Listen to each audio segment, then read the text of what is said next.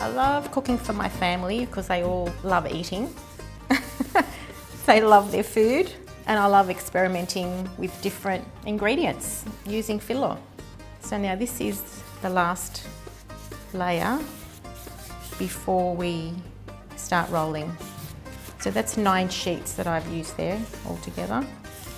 When you're rolling, you need to have put enough oil within the layers to keep it nice and moist.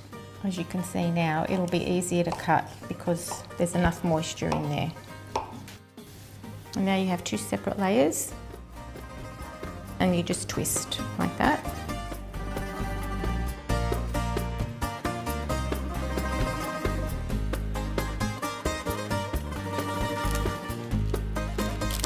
After you've brushed it with oil, you put it in a preheated oven at about 180, 200 degrees for 30 to 40 minutes.